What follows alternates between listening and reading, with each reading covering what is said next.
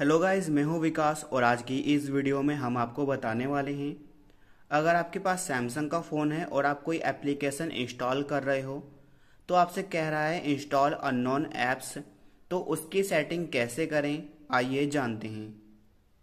इसके लिए आपको जाना पड़ता है फ़ोन की सेटिंग्स में, अपने फ़ोन में सेटिंग्स को ओपन करें। नीचे की तरफ़ आइए, आपको मिलेगा यहाँ पे एक ऑप्शन जिसका नाम होगा बायोमेट्रिक एंड सिक्योरिटी इसे ध्यान से देख लीजिए, आपको इस पर टच करना है। नीचे की तरफ़ आपको आना है, आपको मिलेगा यहाँ पे इंस्टॉल अननोन एप्स इस पर टच करें।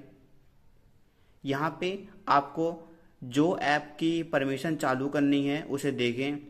यहाँ पे हर ऐप की अलग अलग होती है। मेन होता है गूगल क्रोम व्हाट्सएप या जहाँ से भी आप कर रहे हैं डाउनलोड या जहाँ से भी एप्लीकेशन आया है, उसकी चालू करनी पड़ेगी। मान लीजिए मैंने गूगल क्रोम से कोई एप्लीकेशन डाउनलोड किया तो मैं गूगल क्रोम पे टच करूँगा और इसे चालू कर दूँगा। ये ये मेरा पहले से चालू है, आप किसी और का भी कर सकते हैं। और एक चीज़ और, आपको फ़ाइल मैनेजर का भी ज़रूर करना है। फ़ाइल मैनेजर यानी माई फाइल्स का भी चालू करिएगा और आपकी दिक्कत ठीक हो जाएगी और आपका जो एप्लीकेशन है वो इंस्टॉल हो जाएगा।